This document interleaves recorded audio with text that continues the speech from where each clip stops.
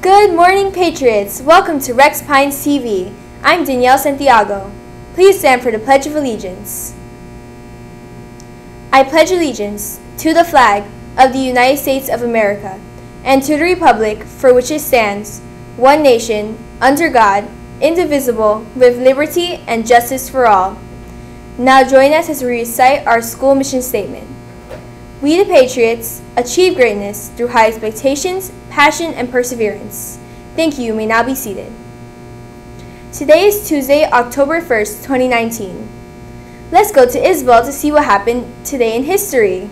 Thank you, Danielle. Today on October 1st, 1890, Yosemite National Park was established by Congress and signed into law by President Benjamin Harrison. Yosemite National Park is home to such national wonders as the Half Dome and the giant sequoia trees. Now let's go to Miguel to see what's for lunch. Thank you, Isabel. Today for lunch we have meatloaf with mashed potatoes, cheese pizza, green beans, orange juice, and your choice of milk. Bon appetit. Now back to Danielle.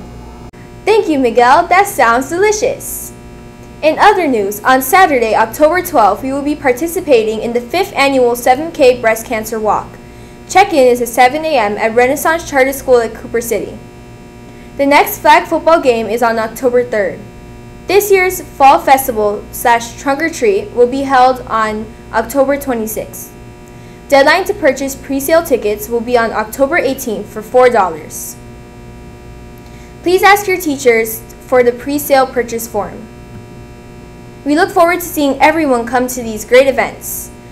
Now let's go to DeAndre to see how the weather is today. Thank you, Danielle. Today's weather in Pembroke Pines, Florida is forecast to be 87 degrees Fahrenheit and thunderstorms. Don't forget your rain gear. Now let's go back to Danielle.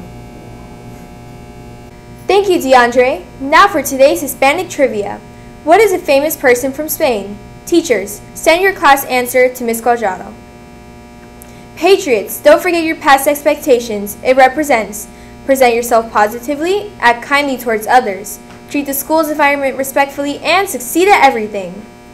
Everyone at RPTV would like to wish you all a terrific Tuesday. And remember, reset your mindset. Have a great day.